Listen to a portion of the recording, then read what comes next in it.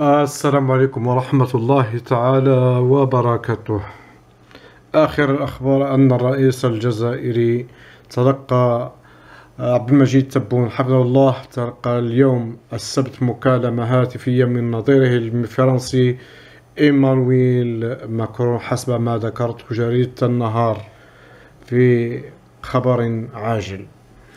وقد قدم الرئيس الجمهورية شكر شكره الجزيل للرئيس ماكرون على اهتمامه بوضعه الصحي منذ نقله إلى العلاج في ألمانيا.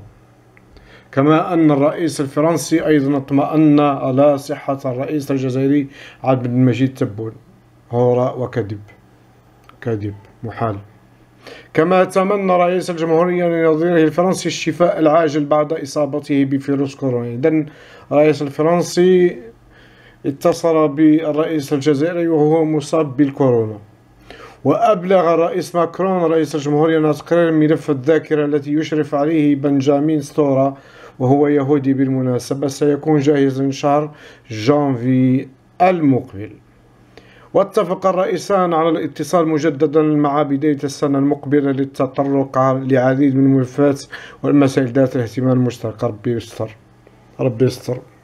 الله يحفظنا ومن بين القضايا التي سيناقشها الرئيسان الوضع السائد في ليبيا ومالي وما خلفته جرائم فرنسا في مالي بإطلاق سراح الإرهابيين وإعطائهم الفدية والصحراء الغربية التي ساهمت بشكل واسع فرنسا في خربشتها ووصولها لهذا آه، المطب الصعب. إذا تقبلوا مروري وبارك الله فيكم وجزاكم الله خيرا.